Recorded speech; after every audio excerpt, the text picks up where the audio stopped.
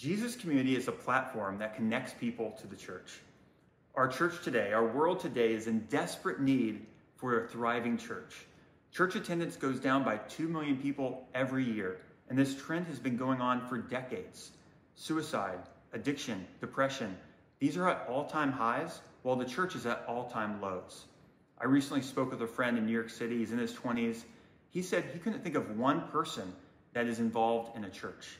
He knows probably 100 people, and he couldn't think of one person connected to the church. In order for the church to be transformative, it needs to be visible. For instance, I'm here at a house church in Houston, Texas. You can't find this on Google. In fact, there aren't really any places where you can find gatherings like this. But Jesus Community will allow you to find the Jesus communities that are near you.